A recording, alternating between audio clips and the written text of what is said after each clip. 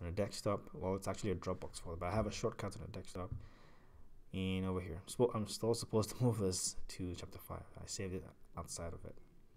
So let's go ahead and create a new folder for well I'm going to do that because I don't think you're, you're keeping well maybe you are. Uh, well perhaps you are. I, am not sure. That's what I'm saying that all right so let's call this fallen distance. That's the folder name and I'm going to save the file also as fallen distance.py alright so let's see if we have any errors. Oh that's a previous program. Okay so we can see that it's listing the values right? Let's count. 1 2 3 4 5 6 7 8 9 10 so it's correct.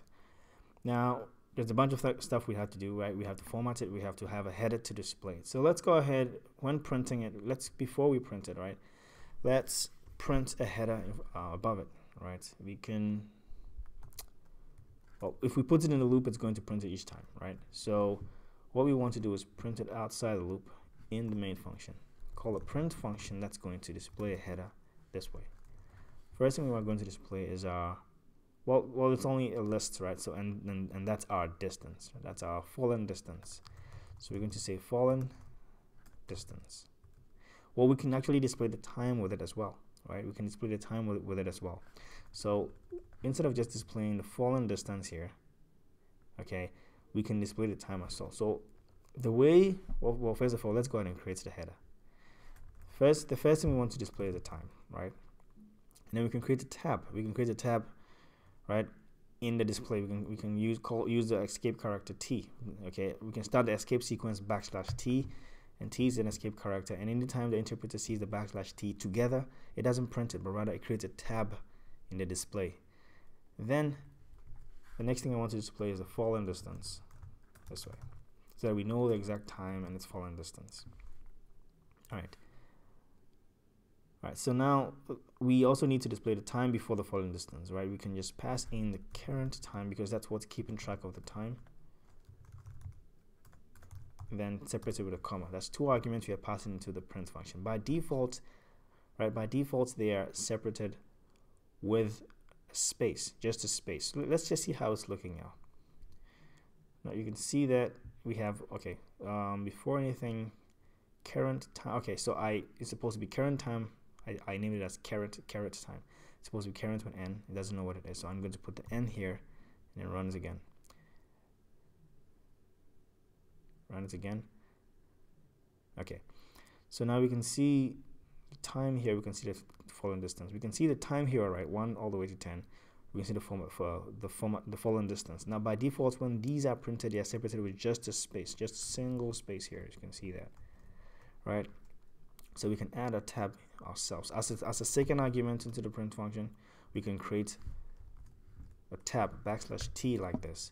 So it's going to, by default, when you pass arguments into the print function this way, they are displayed with a space. So they are displayed this way. So it's going to display the current time space. In this case, a tab space. Well, not the space, but by default, they're displayed they're displayed with a space. So current time space time uh, tab space the fallen distance okay that that's how that display that display with a space so when I run this now we can see that spaced out spaced out a little more because of the tab and we can also add a line after it after, after the header so after it displays this we can create a new line character here backslash n which basically moves the position from here the end of the line to the next line. So anything that comes after that new line character is displayed on that next line. In other words these will shift down. These numbers 1 to 10 and 4.9 all the way to 490 will shift down because there was a new line character here, it wasn't counted here, and that forces the, pos the position to move from this line to the next line, and anything that comes after that will be displayed on that next line, right? In this case, I'm going to put something after that, right? And this is just to underline, well, well, well, first of all, well, first of all, let me just show you this, just one, one quick underline here. And because this new line character moves into the next line, the under, the sorry, the hyphens will also just follow, all right?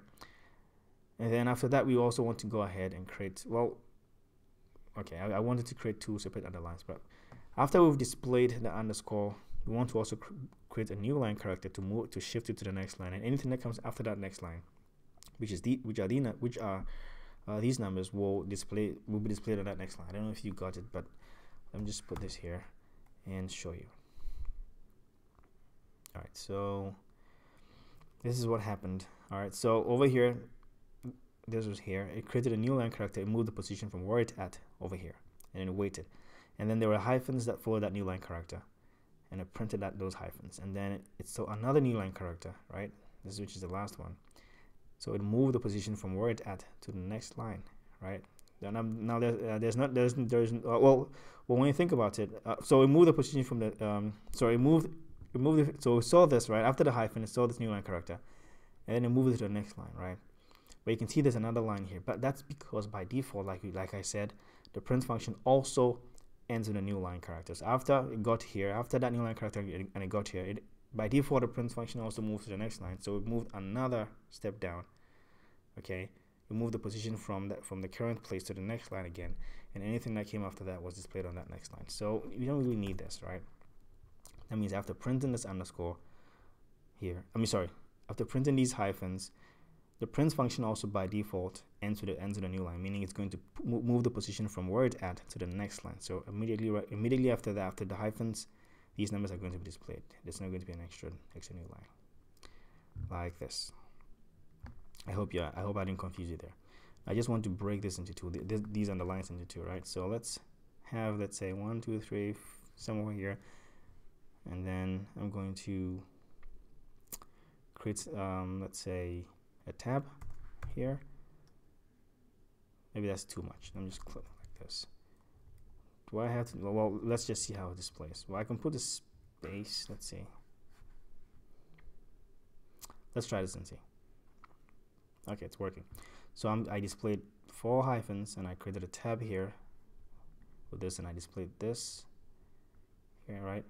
And got a couple. And then by default, the print function ends with a new line characters. After it was done displaying the hyphens, it moves the position from word at to the next line here. So the numbers follow, follow, follow it. So we can see time in our following distance and then you can see you know which one it corresponds to also we have to format these numbers because these numbers are too long and they look you know they don't look really nice so let's format all of them to two decimal places right and we can do that by formatting this number because this is actually this is actually the following distance we can format this number right so i'm going to call the format the format function and then surround this value around it now the format function takes in two arguments right it, uh, a couple a couple of arguments right it takes in what you want to format and how you want it formatted right in this case, the first argument is, is this. This is what I want to format. I'm going to put the comma here, and my second argument is how I want it formatted. It goes in double quotations, right? So first of all, I know those values are float, right? floating point numbers, right? It's a float, and I want it, I want them formatted as a float. So I need to specify the type. So I'm going to type in F to represent the float. Also, I want to, I want to go ahead and format them to or round them to two decimal places. And the way I do that is to specify the precision before the type. So I'm going to type in 0.2 in front of it, which means round that number to two decimal places. If I wanted to round it to three, three decimal places, I'd say 0.3 or 0.4 to four decimal places. I round it to two decimal places, I'd say 0.2, right? And that's it, right? One more thing. I am exceeding this line over here. Now this line, I don't know if you can see it, but it's like, this line is a guideline for me not to exceed 80 characters on a line, right? It's a Python standard to restrict, or I mean, not restrict per se, but then to guide you. It's a good practice to actually, it's a standard to type 80 characters on a line. So this line over here is just guiding me, telling me, hey, you've you've exceeded 80 characters on this line. So break, you know, so do something about it. Your, your code is still going to run, but like I said, it's good practice, it's good standard to do that. So because of that, I'm going to break my code into two here by just after this comma here I'm just going to go ahead and break it by hitting enter right but before that before you break any line on Python you have to type type in the backslash right? And hit enter. Just like that. Okay so now I'm going to go ahead and run this. And the output is here. So everything works well. We can see that they've been rounded to rounded to two decimal places as floats. All right so we're done. All right, so if you have any questions, please comment down below and I'll do everything to respond to them as always. Take care of yourselves. Have a good day. Have a nice time. Have a nice sleep. Enjoy yourselves. And I'll see you next time with the next program. All right, then. Bye bye.